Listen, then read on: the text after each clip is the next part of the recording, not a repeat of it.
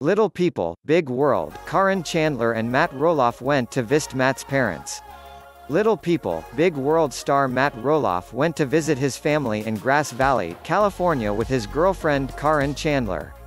The couple enjoyed barbecue and had pretty fun with Matt's parents. After fans saw some pictures of Matt and his dad side by side, they couldn't help but notice that they look a lot alike. Although the heat in California is so high that it might turn you to ashes, the couple had a pretty good time meeting Matt's parents in Labor Day. Caryn mentioned that due to the heart there's a lot of wildfire outbreak. So, the electric company shuts down electricity to the public so that the wildfire doesn't increase. So Matt's parents were ready for the power cut as they prepared for the shut-off by preparing a generator. Fans were also concerned asking why Caryn and Matt didn't go to Ember's party. To which they replied that they were out on Labor Day and they celebrated her birthday privately. But many fans think that Amy Roloff might be the reason they didn't go to the party. What do you guys think? Let us know in the comments section down below.